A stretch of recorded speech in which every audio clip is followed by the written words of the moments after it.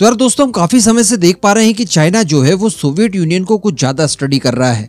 और Soviet union ने कहाँ पर गलती की? इन सब गलतियों से क्या सीखना चाहिए? और अपने देश को किस तरह से सोवियत यूनियन से अलग बनाना है? इन सब के ऊपर चाइना की प्रिपरेशन बड़ी ज़बरदस्त रही है। यही सारे कारण हमें देखने के लिए मिलते हैं कि चाइना को कोई छेड़ने से पहले सौ बार सोचता है।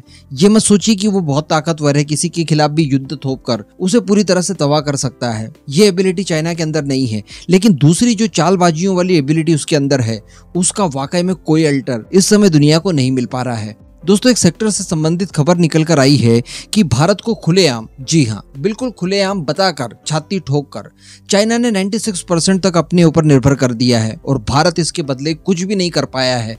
मजबूरन अब भारत को प्लान बी तैयार करना पड़ा। बहुत अच्छी बात है कि प्लान बी तैयार कर दिया गया है, एक्टिव कर दिया गया है और उसके ऊपर इम्प्लीमेंट करने के लिए सारी तैयारियाँ कर दी है। लेकिन सोचिए कि अगर हम किसी क्षेत्र में 96 परसेंट चाइना के ऊपर निर्भर हो जाए और वो भी ऐसा सेक्टर जो कि इन फ्यूचर सबसे ज़्यादा ग्रो करने वाला सेक्टर है, सबसे ज़्यादा ज़रूरी सेक्टर है, उसी सेक्टर में अगर हम लोग नाइन्टी परसेंट चाइना के ऊपर निर्भर हो जाते हैं और सप्लाई चेन पूरी उसके ऊपर निर्भर हो गई, अगर थोड़ा सा भी इधर उधर हो जाता है तो समझ लीजिए कि भारत के अंदर लॉकडाउन ही करवा देगा चाइना ये स्थिति आ चुकी है। चलिए आगे जानते हैं कि वो कौन सा सेक्टर है और भारत इन सबसे निपटने के लिए क्या तैयारियों में जुट चुका है। आप वीडियो को एकदम एंड तक देखते हुए चैनल को सब्सक्राइब ज़रूर कर लीजिएगा। तो दोस्तों, ये सेक्टर कोई और नहीं, बल्कि लिथियम का सेक्टर है। जी हाँ ये वही लिथियम है जिसके बारे में अब कहा जाता है कि भारत में तो इतना लिथियम मिल गया है कि वो हमारी सारी जरूरतें पूरी कर देगा। लेकिन सबसे बड़ी अफसोस की बात यह है कि अगर मौजूदा स्थितियों की बात की जाए तो एक किलो लिथियम भी भारत के अंदर स्वदेशी तौर पर बनाया नहीं जा रहा है।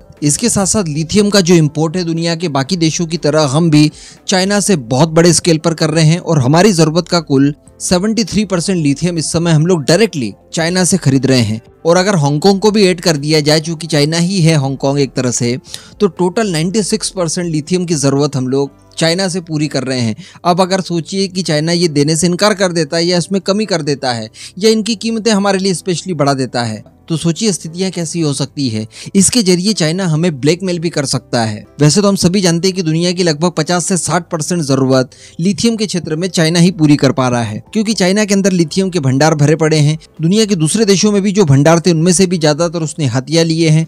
बड़े स्तर पर इनकी माइनिंग और प्रोसेसिंग वगैरह कर रहा है और बड़े स्केल पर वो इनका एक्सपोर्ट भी कर रहा है। अब भारत की अगर बात की जाए तो इस समय तो हम लोग केवल एक परसेंट ही इलेक्ट्रिक कार्स खरीद रहे हैं। लेकिन हम लोगों ने जो लक्ष्य बनाकर रखा है कि 2030 तक 30 परसेंट बिकने वाली कारें इलेक्ट्रिक ही होंगी। तो सोचिए इनके अंदर बैटरीज की कितनी ज़्यादा ज़रूरत पड़ेगी।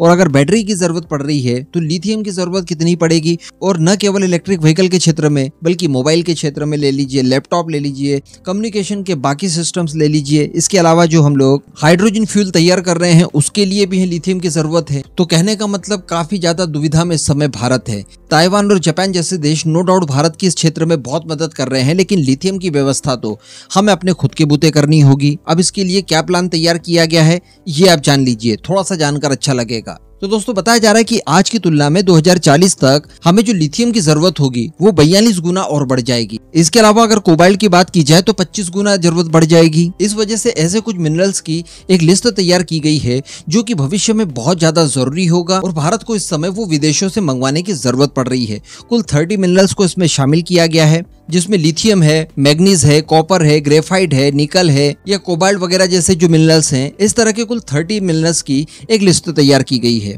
और इसके ऊपर जब अध्ययन किया गया तो पता ये चला कि ये सारे मिनरल्स जो कि रियर अर्थ मटेरियल कहलाते हैं, इनका दुनिया भर में 55 परसेंट हिस्सा केवल अकेले 15 देशों के पास मौजूद है, जिनमें Australia, Brazil, Chile, China, Congo, Gabon, Indonesia, Madagascar, Mozambique, New Caledonia, Peru Philippines, Russia, दक्षिण अफ्रीका और अमेरिका जैसे देश कुछ गिने चुने आते हैं। इनके पास ये सारे रियर अर्थ मटेरियल के 55 परसेंट भंडार भरे पड़े हैं। तो कहने का मतलब इन्हीं देशों के ऊपर भविष्य में हमारी निर्भरता बहुत ज़्यादा बढ़ेगी। तो अब सरकार की तैयारी ये है एक तो कि इन देशों के साथ सप्लाई चेन सुनिश्चित की जाए, इसको लेकर तैयारियाँ की जा रही है। यानी किसी भी परिस्थिति में ये देश ऐसा ना कह दें कि नहीं, हमें नहीं देना है भारत को, हम नहीं करते एक्सपोर्ट जो करना है कर लीजिए। तो ऐसी परिस्थिति में हमारी दिक्कत हो जाएगी। तो ये परिस्थितियाँ ना आए, इसके लिए आज से ही सारी तैयारियाँ भारत सरकार करने के लिए तैयार हो गई है। इसके अलावा ऐसे मिनरल्स जो कि भारत में एक्चुअली पाए जाते हैं, जैसे कि जम्मू कश्मीर में रिसेंटली हमें पता चला, हमारी ज़रूरत का काफ़ी बड़ा हिस्सा जम्मू कश्मीर से हमें मिल सकता है। लेकिन समस्या ये है कि अभी तक उसकी माइनिंग नहीं की गई है प्रोसेसिंग के लिए कोई व्यवस्था नहीं है। तो बताया जा रहा है कि इसके लिए भी सरकार अब कदम उठाने जा रही है और इस क्षेत्र में भी जो कंपनीज़ माइनिंग करेगी और इनकी प्रोसेसिंग करेगी, उन्हें इंसेंटिव दिया जाएगा।